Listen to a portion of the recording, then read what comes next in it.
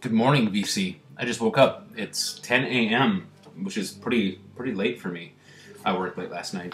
So, anyway, I have a couple things here I'd like to. Uh, I'm not going to share any records or music or anything with you today. Um, this is more like an advice type of type of thing, and my record store day list. Okay, first and foremost, I'm going to order some Blake sleeves to protect the outside of my records.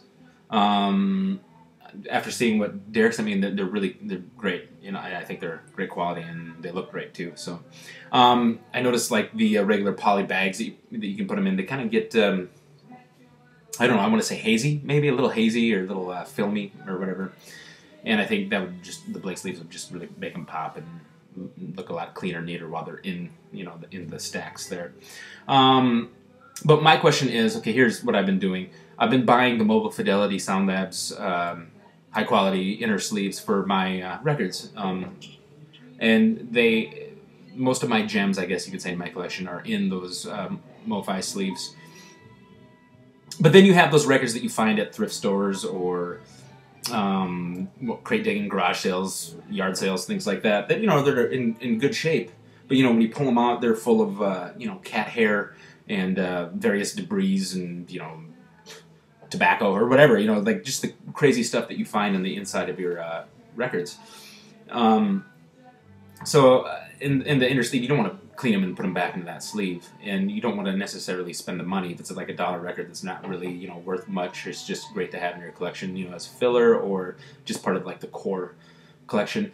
Um, I've used paper sleeves in the past, and I'm thinking about maybe doing that again because you can get like a package of 50 from the Needle Doctor for about I think five bucks. So they're pretty cheap.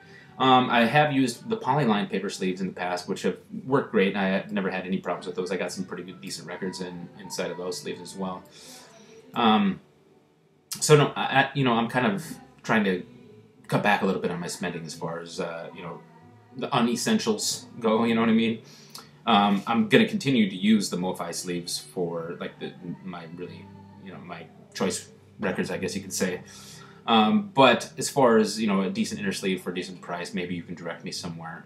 Um, yeah, I'm just thinking about getting some fresh paper sleeves. But see, the thing about paper that I've heard, and I haven't really noticed yet so far, because I have used these, um, you know, they can break down over time. Um, they can scratch your records if you if you take them in and out frequently and things like that. So I don't, I don't want any of that to happen. But you know, if it's a dollar or fifty cent record that I get at a garage sale or something that's you know in decent shape, you know, sounds good and just has a really ratty inner sleeve, I think maybe that's the direction I'll go. But again, I'm turning to you for advice. Um, so yeah, let me know what you think. And uh, okay, Record Store Day 2012. Um, I just kind of reviewed the list. Um, I've been glancing at it here and there, but um, I came up with a short list of things that I'd like to get. Um, and most of it's pretty mainstream. I'm going to read it off to you. Um, Paul McCartney, there's a seven-inch single for um, I think it's another day um, post Beatles, obviously. Uh, Coldplay, there's a 7 inch um, Townes Van Zandt LPs uh, being released. It's probably just a standard reissue. Uh, Florence and the Machine single, um, the Stax box set. I'm kind of looking. I might actually pull the trigger on, you know, if I can find it. I really love the Stax sound and you know the majority of the music that's come out on that label in the past. Um, there's a Miles Davis LP, uh, Iggy and the Stooges Raw Power reissue. Um, there's, I think it's a double LP actually. It's just the standard record, and there's a remix. I believe that's what it is. I'm not sure. Don't quote me on that. Uh, Little Richard. Here's Little Richard. I don't have any Little Richard. I have a, couple of Little uh, Little Richard 78s that are, you know, I don't have any way of listening to them, but it'd be cool just to have, you know, a clean Little Richard album because you know you, you got to listen to some of that every now and then. And then Janis Joplin Pearl. I don't have that on vinyl. Um, it's kind of one of those core records you should have. But um, I don't know if it's any different than just regular reissue of that album. And uh, there's some uh, few other things that kind of caught my eye. There's a Wilco box set that I was thinking about pulling the trigger on. I know it's like a hundred bucks. Um, we'll see. Um, I, am a big fan of Wilco, but I don't know about you know dropping hundred bucks on record store day on one item even though it would be cool, um, I could spend hundred dollars and buy several um, items. I'm gonna go to the Electric Fetus uh, in Minneapolis.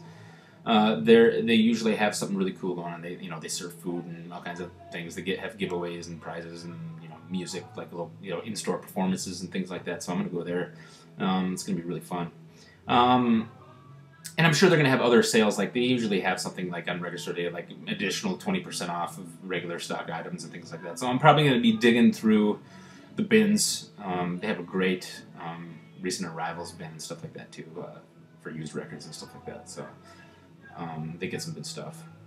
But if there's anything else that you think you know that I'm, you know, I mean, I like I said, nothing's really catching my eye um, like past record store days. So, but um, I'll go for it and see what I can get, and maybe there's some other things I'm not even aware of that are going to be there.